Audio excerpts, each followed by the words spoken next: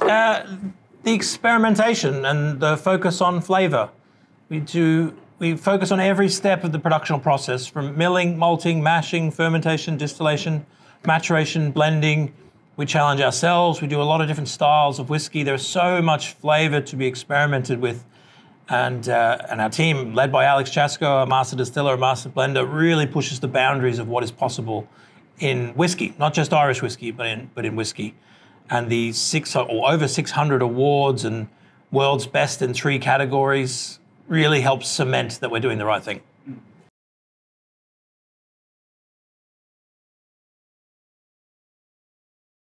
Yeah, we're focused. We like to be a premium Dublin distilled Irish whiskey that focuses on flavour.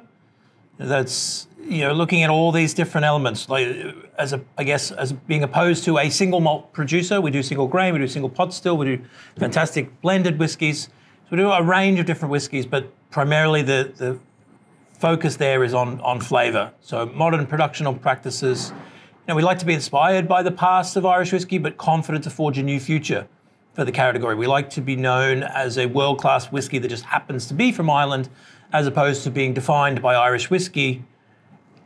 And let's be honest, you know, that, that is currently globally still a few brands, but we're seeing tremendous growth in the category and we want to be able to lead that.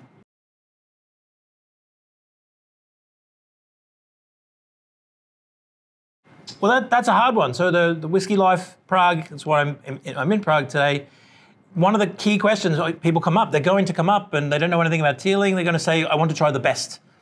It's my job to ascertain what that best is for them. You know, people have a very strong opinion about peated whiskies, smoky whiskies. So if I think in my head that is the best, the fear is that I lead with that. If they don't like it, they're probably going to walk away. So I want to try and find out what works for them. So if they like sweeter whiskies, okay, what kind of sweet? Caramel sweet or fruit sweet? If they like a spicy whiskey, like a rye, let's find something for you. If you like a smoky whiskey, you know, you like Scotch single malts, we have a range of that. We are lucky enough to have that range, so we can find that. So yeah, an extra line of questioning for me at the show, but it's about asking what the customer, you know, likes. There's no such thing as a best whiskey. There's what you prefer, and it's my job to find that out.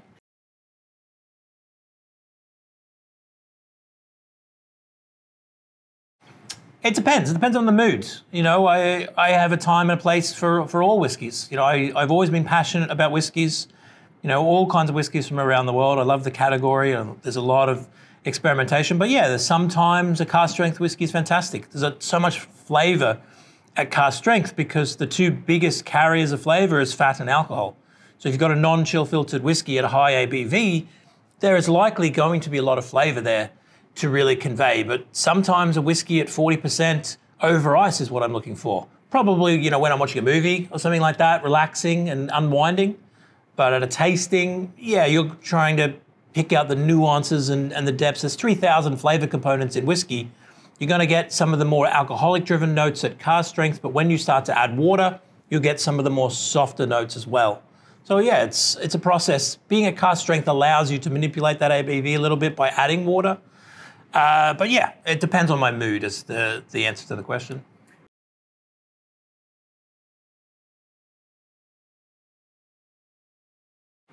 I mean, it, it's going to be a Teeling because I have to say that.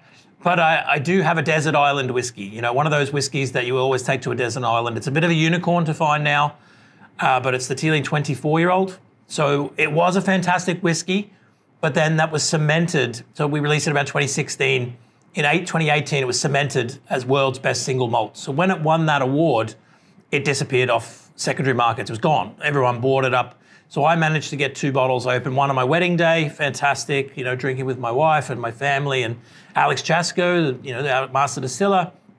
So that's a fantastic whiskey, and I've got one bottle that I'd like to be able to share with my kids one day. So that's my desert island whiskey that is just infinitely memorable. Uh, so yeah, I'll go with the Teeling 24 year old.